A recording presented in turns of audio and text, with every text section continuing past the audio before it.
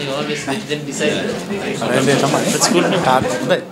ප්‍රශ්න ප්‍රේමදාස 88 දෙසැම්බර් මාසේ 31 වෙනිදා ස්ටේඩියම් එකේ කතාව මට දුන්නේ පියන් තනතුරක්. මම මේ පියන් තනතුරෙන් කෝඩාර මාසක ඔළුව දාගන්න ඊට පස්සේ මම අගත් දාගත්තා අවසන් කරේ කතාව එහෙම මතකද ඒ මේ 88 දෙසැම්බර් මාසේ 31 වෙනිදා එතම එදා තමයි බාරගත්තේ මේ තනතුරේ නෑ තන්ත්‍ර විභාග නෙවෙයි බාරගත්තේ එදා තමයි පක්ෂ නායකත්වයේ බාරගත්තේ පක්ෂ නායකත්වය. තනතුරේ කියන්නේ- දුන්නේ ජනවාරි 2 වෙනිදා 89. 89.